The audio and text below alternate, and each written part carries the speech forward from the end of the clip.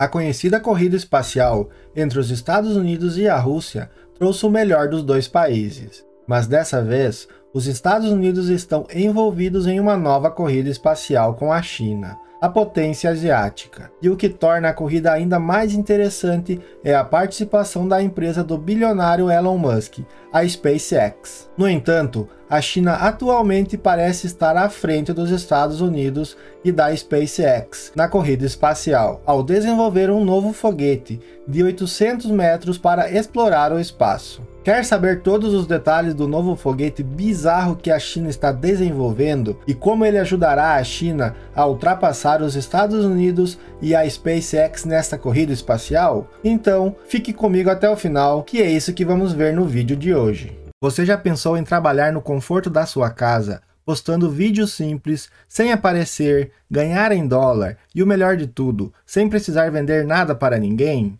Clique no link abaixo e confira essa oportunidade única.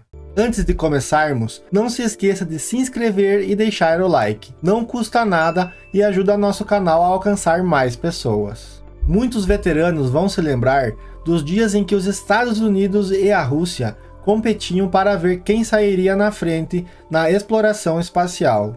No entanto, esses dias se foram e agora vivemos em um mundo onde os Estados Unidos e a Rússia cooperam em assuntos espaciais, ou pelo menos cooperavam antes de todo esse problema com a Ucrânia. Por exemplo, ambos os países operam a Estação Espacial Internacional, e antes que a SpaceX assumisse, a Rússia lançava astronautas dos Estados Unidos para a estação espacial. Os Estados Unidos também compraram motores de foguete russos em muitas ocasiões. A corrida espacial, por outro lado, atraiu novos participantes, como empresas privadas e governos. A SpaceX, fundada por Elon Musk, que atualmente é considerado o homem mais rico do mundo, é uma das empresas privadas de maior sucesso envolvidas nessa corrida. Em pouco tempo, a empresa superou todos os concorrentes e se estabeleceu como a espinha dorsal da indústria espacial americana. Atualmente, possui dois foguetes em operação, ambos produzidos internamente. O Falcon 9 e o Falcon Heavy são usados regularmente para lançar cargas no espaço. A NASA, por exemplo, tem utilizado as cápsulas de dragão da tripulação da SpaceX para transportar carga e tripulação para a Estação Espacial Internacional. A SpaceX também lança satélites e outras missões para outras empresas privadas. As Forças Armadas dos Estados Unidos são outro cliente de prestígio da SpaceX. A SpaceX está constantemente progredindo com seu último foguete, o Starship. Nada como ele já foi construído, um foguete tão poderoso e alto. Musk quer colonizar Marte, e o Starship é o foguete que o ajudaria com essa viagem. A China, o gigante asiático, também é concorrente na corrida espacial. Esse país também cresceu rapidamente e atualmente está disputando o primeiro lugar na corrida espacial. A China lançou 207 missões espaciais entre 2016 e 2021. A China lançou Tian, o módulo central de sua nova estação espacial, em abril de 2021, e enviou três missões de astronautas ao laboratório orbital depois disso, uma contagem impressionante que está ficando ainda mais ambiciosa. O governo pretende lançar dois foguetes, um em julho e outro em outubro, para concluir a construção da estação espacial, cuja conclusão está prevista para o final de 2022. Você pode estar se perguntando: por que a China está construindo uma estação espacial quando já existe uma estação espacial internacional na qual eles poderiam atracar? Bom, a Estação Espacial Internacional tem dois segmentos orbitais, um controlado principalmente pela Rússia e outro controlado pelos Estados Unidos, embora outros estados possam contribuir. No entanto, a China está efetivamente proibida de participar por um ato do Congresso que restringe a cooperação da NASA com Pequim. Além disso, a China está construindo um telescópio espacial chamado Chuntian, que será lançado na mesma órbita da estação espacial e pode se acoplar a ela periodicamente. A Chuntian será lançada nos próximos cinco anos e a estação espacial terá bastante treino durante este período. Os astronautas ficarão estacionados por lá longos períodos de tempo, realizando várias tarefas de pesquisa e manutenção. A China também planeja pousar astronautas na Lua em um futuro próximo. Eles vão continuar estudando e pesquisando a estratégia para um pouso lunar humano na próxima meia década, criando naves tripuladas de nova geração e pesquisando tecnologias para estabelecer as bases para explorar e desenvolver o espaço cislunar, que é uma parte do espaço um pouco além da Lua. Em janeiro de 2019, a missão robótica Chang 4 da China fez história ao realizar um pouso suave no lado oculto da Lua pela primeira vez. A Chang 5 devolveu amostras lunares imaculadas à Terra em dezembro de 2020, pela primeira vez desde a década de 1970 e novamente em fevereiro de 2021. A Tianwen 1, a primeira missão interplanetária totalmente desenvolvida na China, entrou em órbita ao redor de Marte. Em maio do mesmo ano, o rover Zhurong se desligou do orbitador Tianwen 1 e pousou com segurança em Marte. Enquanto isso, um rover chinês está atualmente estudando a superfície de Marte enquanto você assiste a esse vídeo. Desde que chegou em maio do ano passado, vídeos mostram o rover girando em torno da superfície rochosa de Marte. A sonda Zhurong tem procurado sinais de que Marte já teve vida.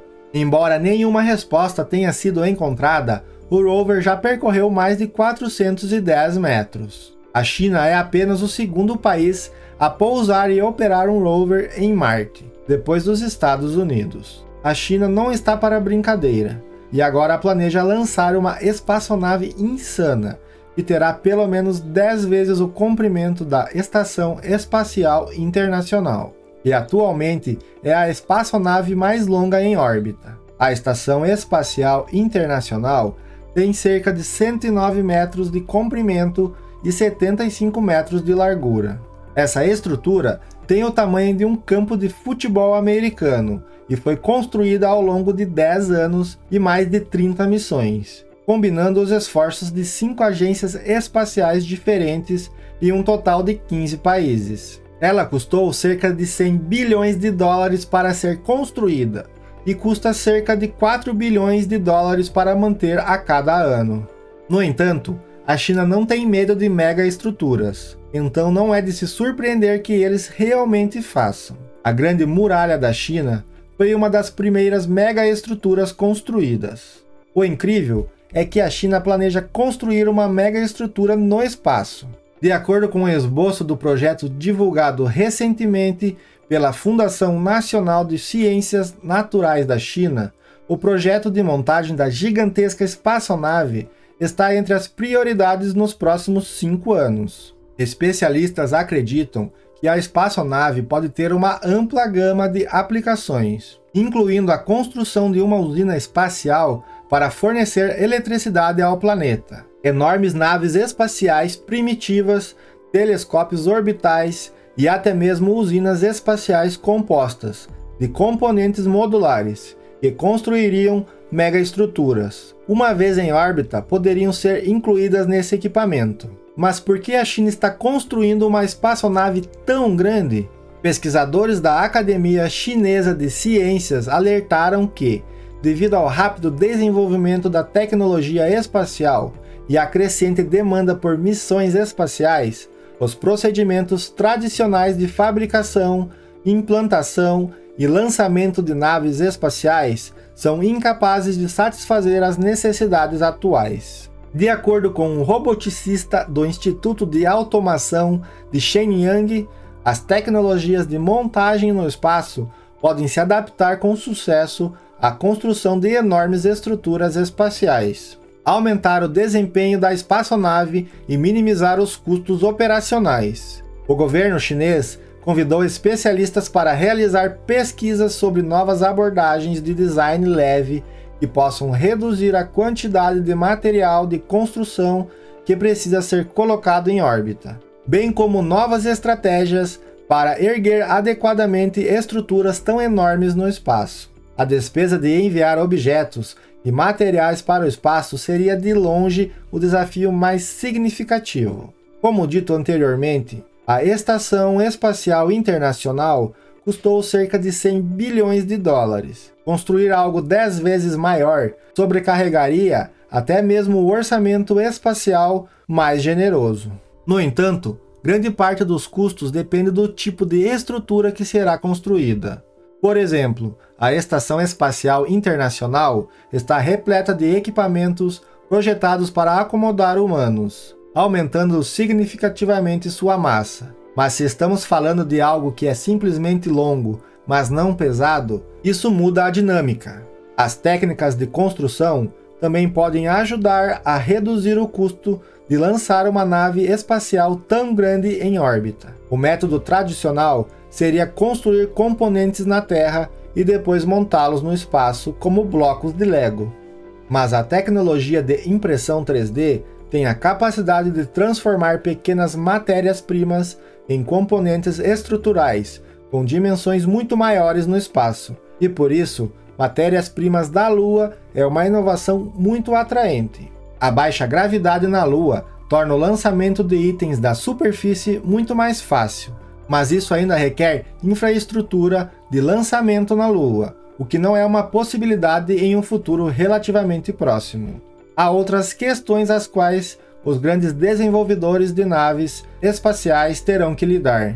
Quando uma espaçonave está sujeita a forças, seja de manobras em órbita ou acoplagem a outro veículo, o movimento transmite energia à estrutura da espaçonave e a faz vibrar e dobrar. Com uma estrutura tão grande, essas vibrações levarão muito tempo para diminuir. Então a espaçonave provavelmente exigirá amortecedores ou controle ativo para neutralizar essas vibrações. Ao decidir sobre a altitude da espaçonave, os projetistas terão que fazer escolhas cuidadosas. Em altitudes mais baixas, a resistência da atmosfera externa diminui a velocidade dos veículos, exigindo que eles constantemente se impulsionem de volta a uma órbita estável. Isso já é um problema para a Estação Espacial Internacional, mas seria uma grande preocupação para uma estrutura muito maior, com mais resistência agindo sobre ela e exigindo mais combustível para voltar ao lugar. Por outro lado, o lançamento para altitudes mais altas é muito mais caro e os níveis de radiação aumentam consideravelmente. Quanto mais longe um objeto estiver da atmosfera da Terra, maior será o problema para abrigar humanos. Um telescópio espacial pode ser um ótimo uso para a gigantesca espaçonave da China. Um telescópio dessa escala poderia ver características na superfície de exoplanetas em outros sistemas solares. Por enquanto, vamos aguardar para ver as novidades sobre essa mega estrutura que a China planeja construir. Se gostou, não se esqueça de curtir e se inscrever no canal. Até a próxima!